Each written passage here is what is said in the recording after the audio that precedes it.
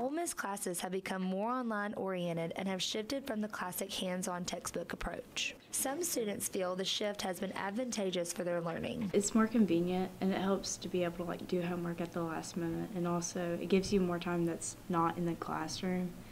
And also it's it's less writing and it's much it's not as in depth as it would be if you were doing it on paper. Teachers think online material can help students learn more depending on their learning styles. In my class, I find online books as well as mainly articles and stories that are online beneficial because the way that I format my class is not a standard read a paragraph and I'm going to test you on that paragraph. Instead, we do projects and use real world experiences.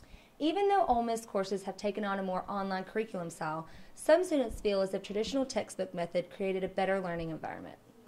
For me, having online assignments almost it's almost like they're not as serious.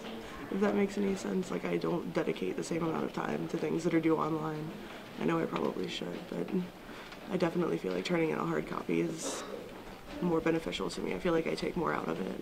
Even though technology is everywhere on the Ole Miss campus, students still revert back to the classic textbook approach. Reporting for Newswatch, I'm Cindy Bayles.